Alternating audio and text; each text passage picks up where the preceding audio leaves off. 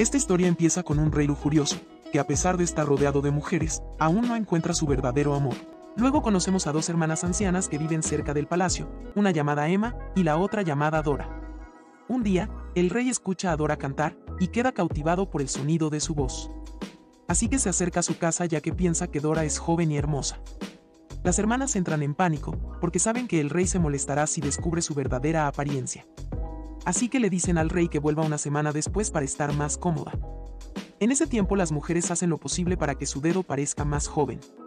Emma lo consigue, luego de dejar su dedo en su boca por mucho tiempo, haciendo que tenga una piel más suave. Llega el día de la visita del rey, y Dora enseña el dedo de Emma en lugar del suyo. Ahora el rey está decidido de que quiere hacer el chocochoco con Dora. Así que a Dora se le ocurre una idea, y le dice al rey que solo se acostará con él si hay oscuridad total. Y el rey acepta.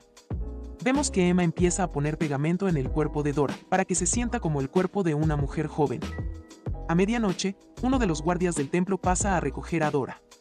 Todo está oscuro como se prometió, y el rey hace el sin respeto con Dora. Pero al día siguiente descubre que lo hizo con una mujer vieja. Por lo que ordena inmediatamente que arrojen a Dora por la ventana. Por suerte Dora logra sobrevivir a la caída.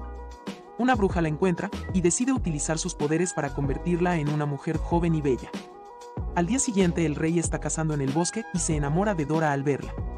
La lleva a su castillo y la convierte en reina. Dora invita a su hermana Emma a su boda, pero no sabe cómo se volvió joven, así que cuando Emma le pregunta el motivo por el cual se volvió joven, ella responde de forma sarcástica que se desprendió de su antigua piel. El problema es que Emma se lo tomó literal y decidió contratar a un herrero para que le quitara su vieja piel. El herrero no ve problema alguno y acepta. Se van al bosque y el herrero remueve la piel de Emma. Emma vuelve al castillo en muy mal estado, no aguanta mucho y se va con Diosito.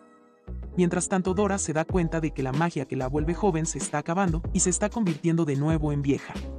Así que se va del castillo, y la historia termina con Dora volviendo a su estado original, pero sin su hermana.